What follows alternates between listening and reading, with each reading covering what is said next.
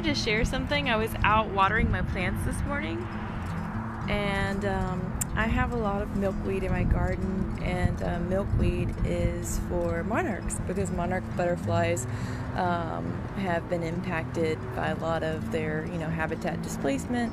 Um, and one way that's good to kind of mitigate that is to plant some milkweed because that's the only thing that the caterpillars can eat. Um, I actually need to replace a lot of this milkweed because the tropical one kind of disrupts their natural lifestyle. It's not as good as like a native milkweed, but it's a start. So I was uh, watering my garden last week with the milkweed and I saw some uh, monarch caterpillars that were down here that were eating and you can kind of see analogy like a visual analogy for what personal growth looks like in our life. And I think about like how we as humans and spiritual beings we kind of we kind of come to this planet just like with a lot of struggles and a lot of baggage and we're these sort of fragile you know gooey little caterpillars much like the ones you see on these plants. Um, they're totally vulnerable totally helpless. They're not very like sexy. They can't move fast you know.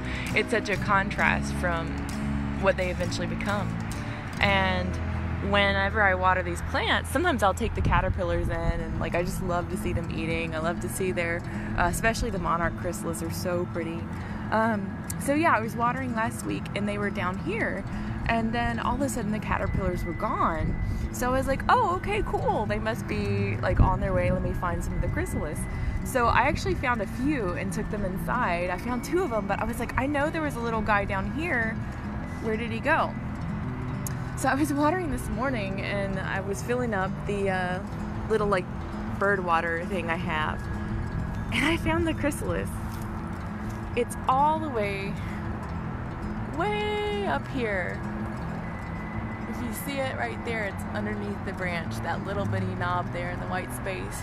So the reason this is so impressive for me because if anybody's ever seen monarch caterpillars, they're so slow and they're so fat and they're just so vulnerable. And I was looking at this and I was imagining the journey that this tiny little like, you know, inch, inch and a half long caterpillar had to make all the way across the hot concrete. It's Florida, it's hot, right?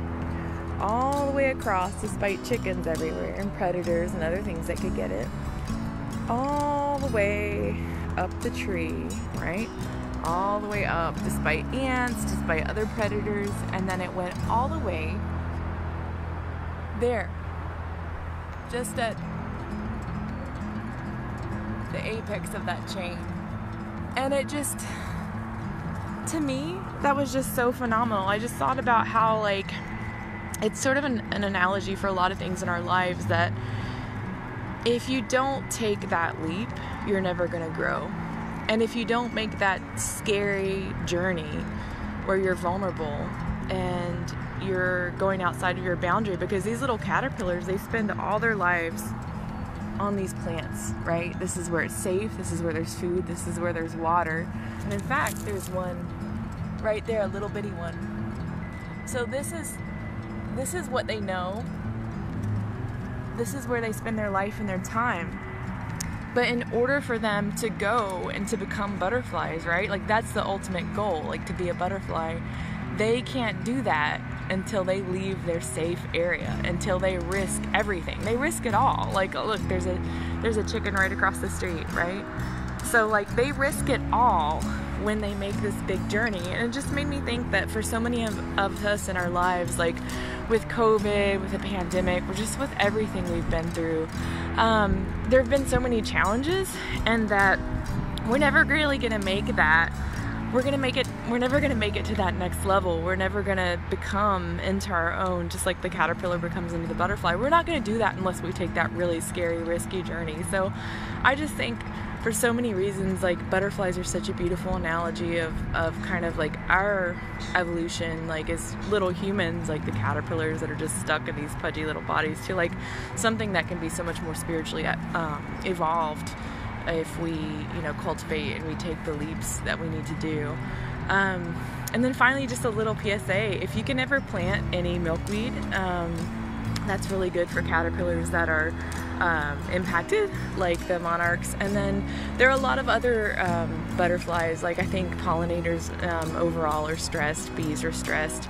Um, so whatever you can do to uh, plant, you know, flowering plants to help the pollinators, to garden organically, avoid pesticides, um, that does a good little thing as well. So thanks for watching.